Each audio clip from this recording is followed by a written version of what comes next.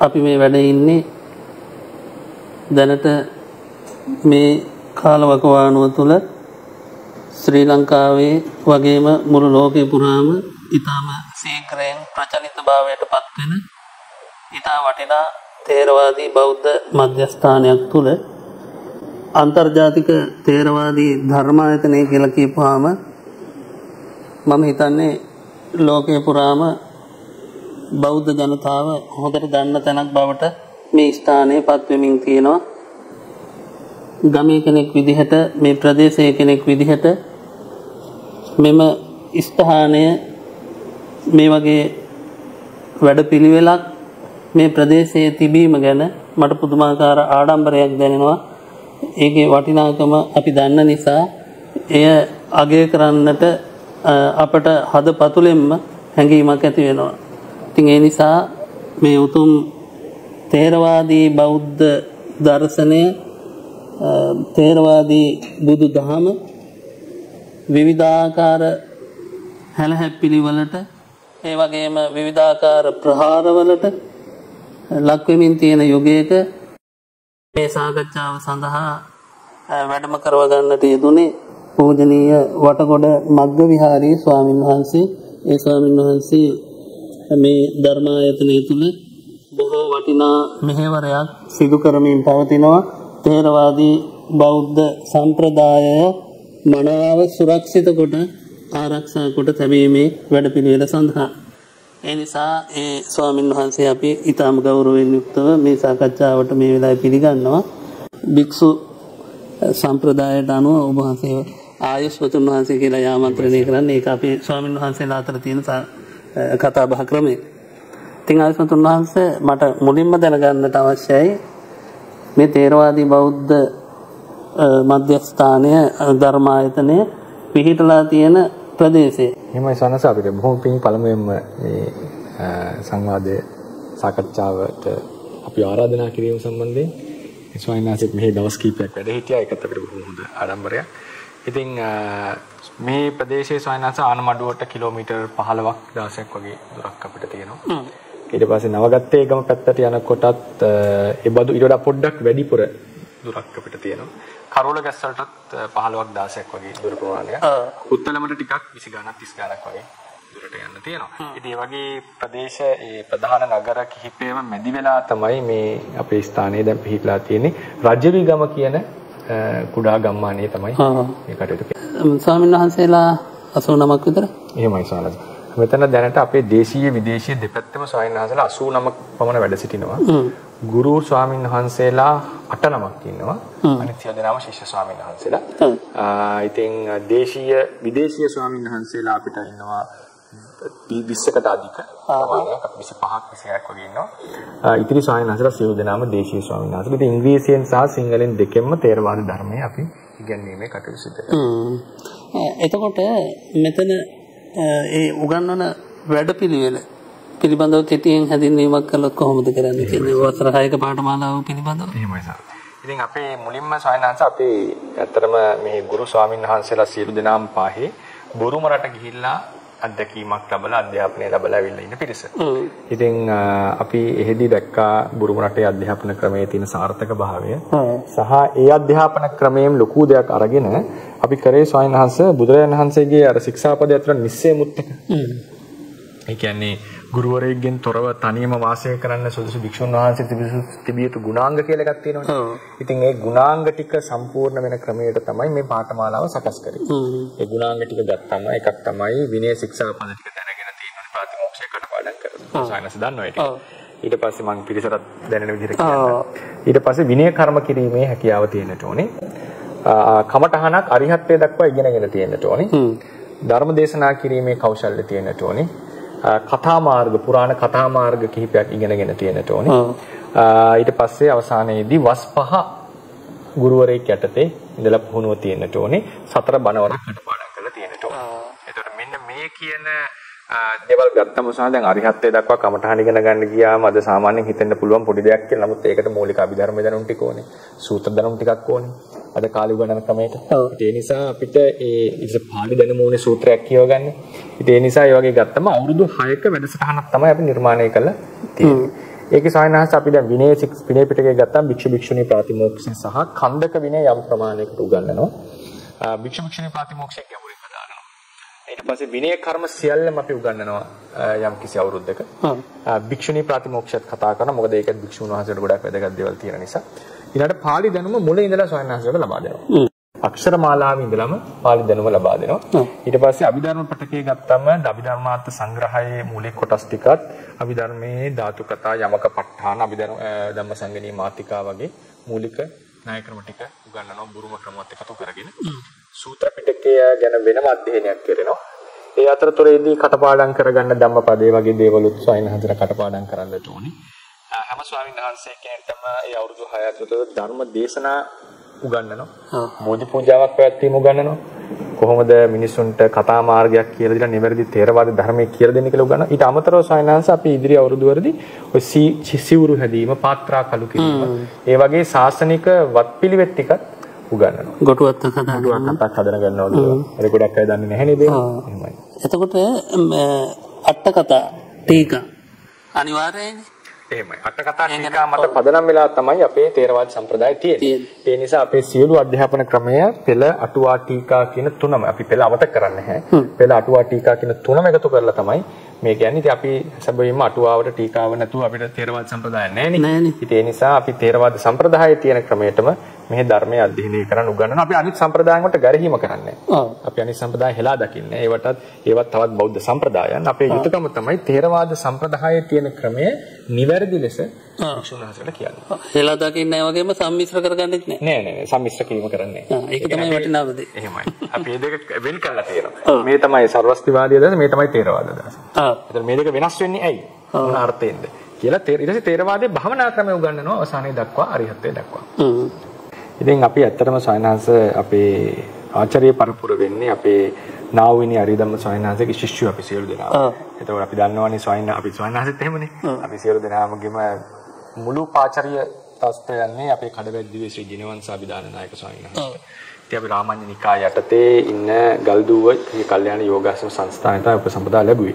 හැබැයි මේ ස්ථානයේ නිකාය ભેදයකින් තොර ඕන කෙනෙක්ට ඇවිල්ලා විනයගරුකව කටයුතු කරගෙන යන්න පුළුවන්. මේ ස්ථානය අපිට පූජා කරන්නටත් ලැබුණේ අපේ අරේ අපේ දැනට නාවින ආරණ්‍ය සේනාසනාධිපති වැඩ සිටින අපගේ ආචාර්ය උත්තම අඟුල්ගමේ අරිනන්ද ස්වාමින් වහන්සේගේ මග පෙන්වීම යටතේ තමයි අපේ වන්නිනායක පවුලෙන් මේ ප්‍රදේශයටම ඔව් එතුමා අපිට මතකයි ඒ කාලේ අපි පොඩි කාලේ පුත්තලම දිසායම එතුමා වෙලා හිටිය එච්.බී වන්නායක. එතුමාගේ ඉඩමක් මේක. ඉතින් එතුමාගේ දැනට ඉන්න මැතිනිය. සහ එතුමාගේ දියණියට තමයි ඉඩමේ අයිතිය තිබිලා එතුමාගේ මේ බෑනත් එකතු වෙලා පිරිසම එකතු වෙලා වන්නිනායක පවුල එකතු වෙලා තමයි පූජාව කරේ. ඉතින් බෑනා තමයි ගොඩක් මුල්ුනේ අපේ බණ්ඩාර චන්ද්‍රකීර්ති බණ්ඩාර මහත්මයා. එතුමාගේ බිරිඳ තමයි අපේ චන්දිමා වන්නිනායක මැතිනිය සහ මහමැතිතුමාගේ බිරිඳ ඒ දැනටත් වාසය කරන වනි නායක මැතිණිය. ඉතින් ඒ සියලු දෙනාම එකතු වෙලා තමයි මේ ඉඩම අක්කර 80ක් විතර වගේ ප්‍රමාණයක ඉඩමක් සම්පූර්ණ සංඝසත්තු කොට පූජාත්මකයෙන් පූජා කරා. අඟුල්ගමේ අරිනන්ද ස්වාමීන් වහන්සේගේ උපදේශ පරිදි. ඊට පස්සේ දැන් කටයුතු ඔක්කොම සිද්ධ කරන්නේ ෂේම භූමි සංසදය කියන දායක සභාව විසින්. ඒකෙත් අපේ ආචාර්ය රංජක රංග කලන්සූරි මහත්මයා සභාපති ධුරය දරනවා මහාචාර්ය රංජනී ගමගේ මෙතනිය වෛද්‍ය මෛත්‍රිය උපසභාපති ධුරය තවත් සම්භාවනීය කීප දෙනෙක් මේ දායක සභාවේ ඉන්නවා. ඊට පස්සේ අපේ කටයුතු කරනකොට සායනහස මෙහි ස්ථානයේ මූලිකත්වය ගන්නේ අපේ ගරු කටයුතු පූජ්‍ය බේරපිටියේ දේවානන්ද ස්වාමීන් වහන්සේ. ස්වාමීන් වහන්සේ වැඩි ප්‍රසිද්ධ නැහැ. ආදී එහෙම කතා මේ බණ කියන්නේවත් එහෙම නමුත් සියලු සංඝයාගේ පියෙක් වගේ සියලුම කටයුතු හොයලා බලලා විශාල වැඩ පිළිවෙලක්. විශාල වැඩ පිළිවෙලක්. ඒතරම ඉතින් මම තමයි සාමාන්‍යයෙන් මේ ප්‍රසිද්ධිය බණ එහෙම දේශනා කරන්නේ. මම දෙවෙනි අවශ්‍ය කටයුතු කරන්නේ. නමුත් ඒ සියලු බර කර වැටෙන්නේ අපේ ලොකු ස්වාමීන් වහන්සේට පූජ්‍ය බෙරපිටි දේවානන්ද ස්වාමීන්ට. ඉතින් උන්වහන්සේ තමයි අවසානයේදී මේ සියලු තීරණ එහෙම අරගෙන සහ මේ ඉදිකිරීම කටයුතු සියල්ලම අධීක්ෂණය කරමින් තවත් අපිට අපේ කොස්කොඩ සමත සීල ශාන්සගෙත් කටාන සේනාසනෙත් ලොකු උදව්වක් කරනවා. සහ අපේ ගුරුවරු 8 දෙනෙක් සියලු දෙනාම ඉන්නවා. ඉතින් අපේ මතුගම ධම්මනිසන්ත ස්වාමීන් වහන්සේ, ඊට පස්සේ පූජ්‍ය පැල්මඩුල්ලේ විජිතානන්ද ස්වාමීන් වහන්සේ, කුලියාපිටියේ සංඝරත්න ස්වාමීන් වහන්සේ, ලබුනෝරේ ධම්මවිහාරි ස්වාමීන් වහන්සේ, ඊට පස්සේ අපේ ඉන්නවා තුඩන්දුවේ ඕබාස ස්වාමීන් වහන්සේ. ලාවුස් ජාතික ස්වාමීන් වහන්සේ කෙනෙකුත් ඉන්නවා අපේ කල්යාණ යෝගාශ්‍රමයේ උපසම්පදා ලැබුවා.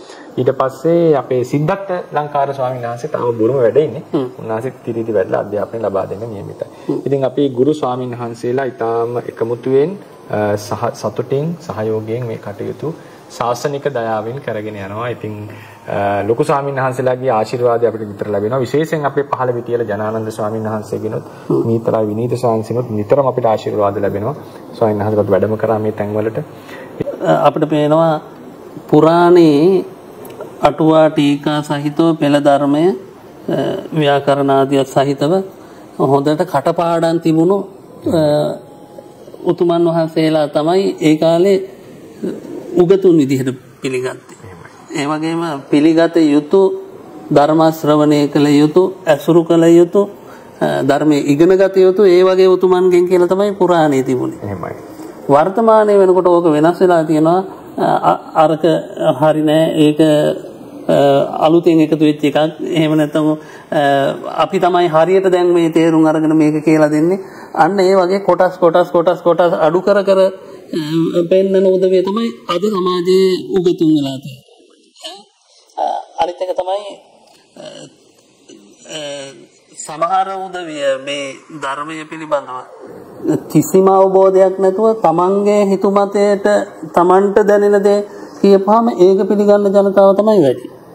තවත් පැත්තක් තියෙනවා ධර්මය ඉගෙනගෙන වැඩි වෙලා තමන්ගේ පෞද්ගලික මති මතාන්තර ඒකට එකතු කරගෙන ඒක විග්‍රහ කරලා කරන කට්ටියක් ඉන්නවා.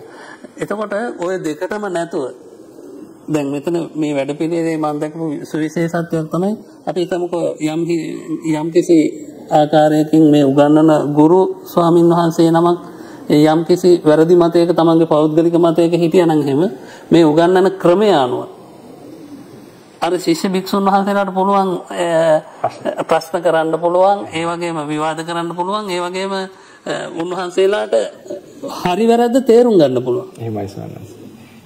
ඒක අපි ඇත්තටම මම පොඩි අවස්ථාවක් දුන්නොත් සන්නස් ඒක අපි අපේ ව්‍යවස්ථාවක් තියෙනවා වෙනම.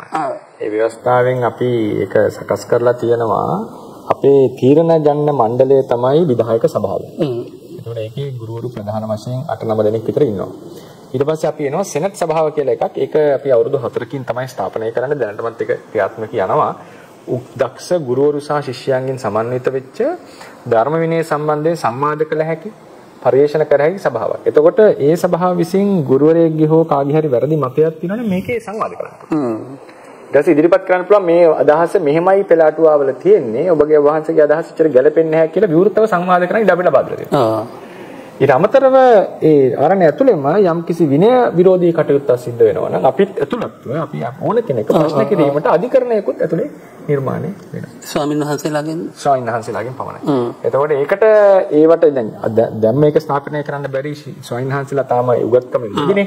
එතකොට අවුරුදු 6 විතර වෙනකොට අපි විනය මණ්ඩලයක් ඇතුලේ නිර්මාණය කෙරෙනවා. එතකොට මේක තනිකර ධර්ම විනයම මුල් තැන දෙන ගුරුවරයාගේ වචනේ ප්‍රමණක් අනුගමනය කළ යුතුයි කියන තැන ඉවත් කරලා ධර්ම ශාස්ත්‍රෝත්ථානය ගේන්න තමයි අපිට අවශ්‍යතාවය වෙලා තියෙන්නේ. සාදු සාදු. ඊටමත්ම වටිනා වැඩපිළිවෙලක් මේ පිළිබඳව අපිට නැවත නැවත ප්‍රශංසා කරන්න හිත් දෙන වටිනා වැඩපිළිවෙලක් මෙතන ක්‍රියාත්මක වෙමින් පවතින්නේ. මේ වගේ බාහිර දූර කටයුතු මේක සෙල්ලම් වැඩක් නෙමෙයිනේ. මේක මහා විශාල කාර්යයක්. එතකොට ස්වාමින් වහන්සේලා 89ක් විතර තියාගෙන ඒ ස්වාමින් වහන්සේලාට ප්‍රතිපහසුකම් හදලා දීගෙන උන්වහන්සේලාව නඩත්තු කරගෙන නේද? එතකොට මේ ස්ථාන නඩත්තු කරගෙන මේ ගොඩනැගිලි ආදී නඩත්තු කරගෙන කරනවා කියන එක සුළුපටු වැඩක් නෙමෙයි. ඒ නිසා ওই ප්‍රත්‍ය පිළිබඳව අපිට කතා නොකර අතාරින්න පුළුවන් කමක් නැහැ. ඒ නිසා මට ඒ පිළිබඳව සුළුවෙන් විමසන්න අවශ්‍යයි. දානමාන පහසුකම් කොහොමද දැනට කෙරෙන්නේ? ඉතින් අපි 89ක් වැඩ ඉන්නවා. එතකොට සානස ගොඩක් වෙලාවට කෙරෙන්නේ මෙහි ඉවිම් පිවිම් කටයුතු වෙනම ගිහි මණ්ඩලයක් විසින් සිද්ධ කරගෙන අපි දායක සභාව විසින් ගත්ත අර උයන පිහන කටයුත්තක් ඉන්නවා. ඒතකොට කරන්නේ සාමාන්‍යයෙන් දායක දේශීය විදේශීය දායකයෝ ප්‍රත්‍යපහසුකම් එවනවා දායක සභාවට. දායක සභාව විසින් ඒ ගිහි කට්ටිය ධම්මලා ආහාර පාන සකස් කරලා ස්වාමීන් වහන්සේලාට දිනපතා දාන සකස් කිරීම තමයි සිද්ධ වෙන්නේ. ඒ දානේ සකස් කිරීමත් කිසිම අඩුපාඩුවක් නැතුව බොහොම ඉහළ මට්ටමින් තියෙනවා දැන් මම දැක්කනේ දින කිහිපයක්ම. එතකොට යම් කිසි මේ ප්‍රදේශයේ හෝ ලංකාවේ හෝ පිටරටකින් ලංකාවට එන කෙනෙක් හෝ අපිට දානයක් පූජා කරගන්න අවශ්‍යයි කිව්වොත් කොහොමද කරන්නේ? එතකොට අපි කරන්නේ සයන්හස ඒක අපේ දායක සභාවේ ඉන්නවා දාන මාන කටයුතු බාර මහත්මයෙක් වෙනම. එතුමාට අපි සම්බන්ධ කරනවා. ඔව්. ඒ කියන්නේ ඒගොල්ලොන්ට ඇවිල්ලා නැවතිලා දාන පිළියෙල කරලා පූජා කරලා යන්න එහෙම කරන්නත් අවස්ථාවක් තියෙනවා. කරන්නත් අවස්ථාවක් තියෙනවා. බොහෝ අය කරන්නේ නම් වියදම් ටික එවනවා. එතකොට මෙහින් වෙන කටයුතු ටික කරනවා. සමහර ප්‍රදේශවල අයට ස්ථානෙ දැක බලා ගන්නත් අවශ්‍යයි. සංඝයා වන්දනා කරගෙන තමන්ගේ අතින්ම දාන ගන්න අවශ්‍යයි ඉන්නවා. ඒ වගේ අයට ඇවිල්ලා අතින් ලොකු නවාතැන් පහසුකම් තාම ඉදි වෙලා නැහැ ගියයට. නමුත් අපේ ශාලාවක් තියෙනවා. ඒක ඉඳගෙන කටයුතු කරගෙන යන්න අවස්ථාවක් තියෙනවා. ඔව්. ඇත්තටම මේක එන්න අවශ්‍ය දකින්න අවශ්‍ය ස්ථානයක්. ඒ වගේම මේ කෙරෙන වැඩපිළිවෙල තමන්ගේ දෑසින් දැකලා ශ්‍රද්ධාව උපදව ගන්න පුළුවන් වැඩපිළිවෙලක් මෙතන ක්‍රියාත්මක වෙනවා. ශාසනයට අත්‍යවශ්‍ය කාලෝචිත වැඩපිළිවෙලක්. ඒ වගේම ඒව ගැන කතා කරනකොට මේ ලොඟ දැහැගෙන වෙන තරම් පුදුමාකාර ශාසනික භක්තියක් අපට ඇති වෙනවා. මේ කටයුතු සිද්ධ කරගෙන යන මේ ස්වාමීන් වහන්සේලාට වීරිය වැඩෙන්න උන්වහන්සේලාට ත්‍රිවිධ රත්නේ අසීමිත ආරක්ෂාව ලැබෙන්න කියලා හදවතින්ම ආශිර්වාද කරන්න අපිට මේ සිත් පහළ වෙනවා. අපි තේරවාදී සම්ප්‍රදාය ඒ තුල උතුම් මාර්ගඵලලාභීන් වහන්සේලා පහළ කරවමි. ධර්මයෙන් පරිපූර්ණ ධර්මයෙන් සන්නද්ධ නිවැරදි වූ බෞද්ධ ප්‍රතිපදාව අනුවම ධර්මයේ විනය පරිශීලනය කරන ශ්‍රේෂ්ඨ යතිවරයන් වහන්සේලා මේ උතුම් ධර්මායතනය තුලින් මතුවට පහළ වේවා. උන්වහන්සේලාගෙන් සම්බුද්ධ ශාසනය සුරක්ෂා කොට ආරක්ෂා කරන වැඩපිළිවෙල ඊ타ත්ම ඉහළ මට්ටමින්ම අපට දැක ගන්නට ඒ දැක දැක සන්තෝෂ වෙලා මරණ මංචකයේදී උනත් අනේ මේ වගේ වැඩ පිළිවෙලක් තියෙනවනේ කියලා අපිට සන්තෝෂ වෙන්න පුළුවන් විදිහට මේ කටයුතු සියල්ලක්ම ඊ타ත්ම සාර්ථකව චිරස්ථායි වේවා කියලා අපි ප්‍රාර්ථනා කරනවා.